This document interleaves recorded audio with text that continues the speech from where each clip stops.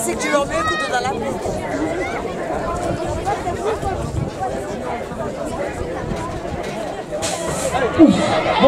est resté scotché dans les starts. Et c'est le pilote de Rouen, Jacques et Matisse, qui se détache, il me semble, en bout de cette première les arrières. Il a notamment mis yeux de Darliois, Petiski, Tom, qui essaie de revenir, bien entendu, pour aller chercher.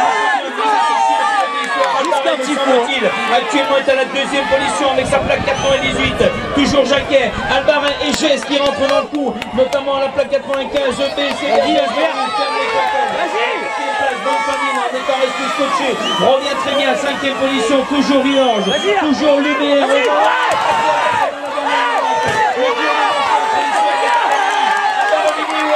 Jacques Jacques et Matisse a tout donné, il remportera